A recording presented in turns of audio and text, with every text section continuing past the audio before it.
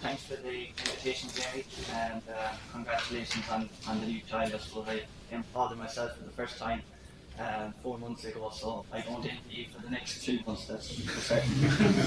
that, that's spoiler too. They're in the house. There's, there's light at the end of the tunnel. Um, okay, so uh, in of my name, um, I'm an employee of Mayo County Council, and I suppose what I'm going to talk to you about here today is um, a case study, particularly that I was involved in, that was under the Better Energies Community Scheme. Um, just going to talk, I suppose, about the role of local authorities in general, kind of how they're supposed beginning to change what one would normally expect local authorities kind of from a regulatory licensing organisation to one that has um, become kind of more business friendly and business orientated, which is quite um, step outside its comfort zone.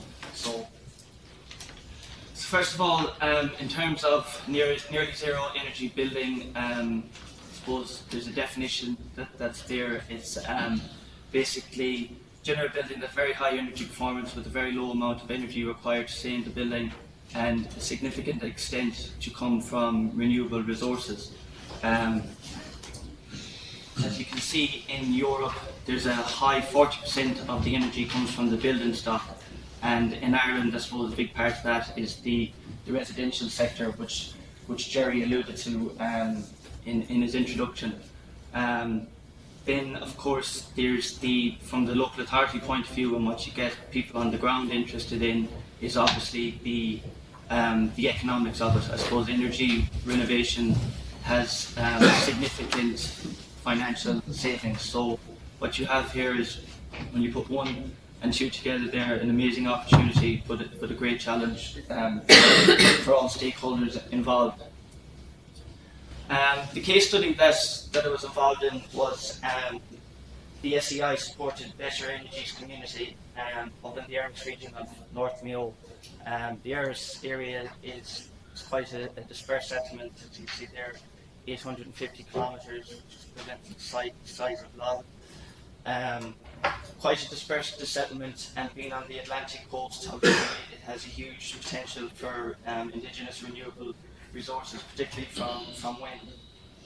Um, like most projects, it, it, it, involved a collaboration of, of various stakeholders to, to get the project off the ground. And in that regard, Mayo County Council, we were the lead partners in, in the application.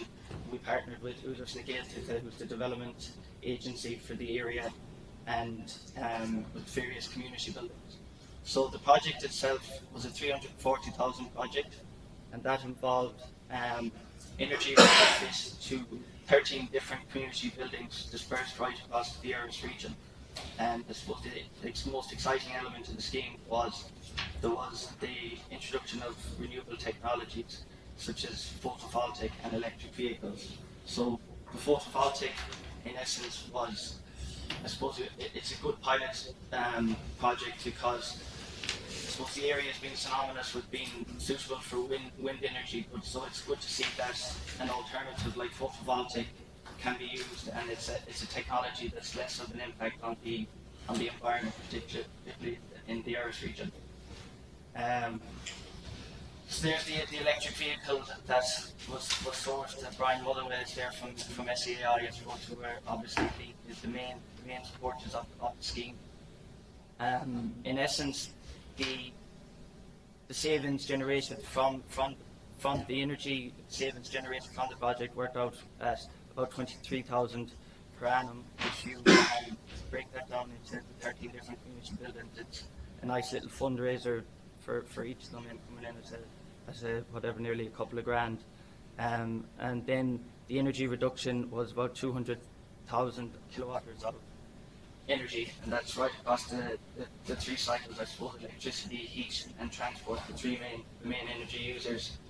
Um, again, giving an indication of kind of, sorry, moving on to the next scheme, I suppose that we've, we've, we've continued on to 2015 Better Energy Scheme, and in this regard, we're, we've more of a focus on, on the housing, and as you can see, um, there's a kind of a typical rural house that's probably not unlike any other rural area in, in Ireland. So you're dealing with quite quite a poor kind of energy stock. and you know, they're buildings that are they're they're they're energy poor by criteria, and you're looking at bringing those up to a minimum day one standard under the Better Energy Scheme or a BER uplift of between 150 and 200.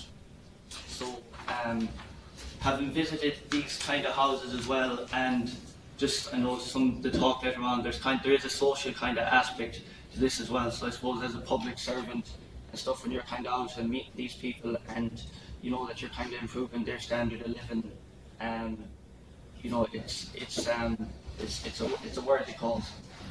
Um, okay, so just as I alluded to earlier, the role of local authorities, um, I suppose it's a given we must be, be exemplary. There's no point in, I suppose, local governments telling telling people what to do if they're not showing best practice themselves. And um, obviously in 2019, all new public bills have to be designed to nearly zero energy, um, to near, near, nearly zero energy building standard. Um, to mention the roles of the local authorities are changing. Um, one now that kind of promotes local economic activity, I suppose nationalisation, water is being taken away from the local authorities more and more so with the roads, regional roads, I think are getting moved to the National Roads Authority and all the rest. So it's it's kind of a change in change in landscape and um, particularly innovative areas like um, you know energy and re- reducing energy consumption and working with communities and that is is a, new area we've moved into. Um, energy efficiency is is well and truly now part of the public procurement process with the within local authorities. Um, then I suppose what monitoring yeah, of, of building stock as, as past uh, or sorry as uh, Sean Sean mentioned is um, that going forward I think local authorities will have, have a big part to play in terms of policing and particularly in relation to Part L and ensuring that these buildings on the built environment are, are incorporating the, the renewable um, the renewable elements that they're required to.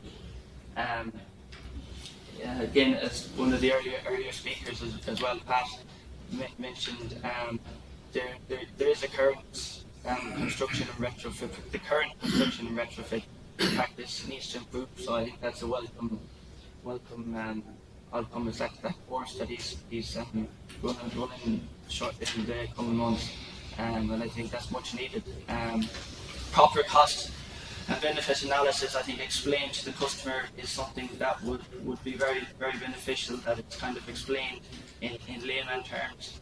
Um, increase awareness amongst investors. Um, energy efficiency as part of planning. I think in terms of the rollout of Part L, it's, it's something that could maybe be incorporated um, I think more so into the planning process in terms I know there's a bit of an overlap between planning and building control, but I think at the onset people should be thinking of incorporating Part L as part of their drawings and part of the design. So it's it's kind of coming in that and other kind of important areas like carbon monoxide detectors and fire alarms. Not not everything needs to go on to planning, but I think um, key things that would benefit the homeowner should be incorporated. Um, into maybe part of the planning process. Um, obviously, going forward, we'd like to see the continued rollout of um, renewable technologies and you know the benefits of that are, are, well known by everyone here today in terms of keeping the security of supply and um, the CO2 reduction.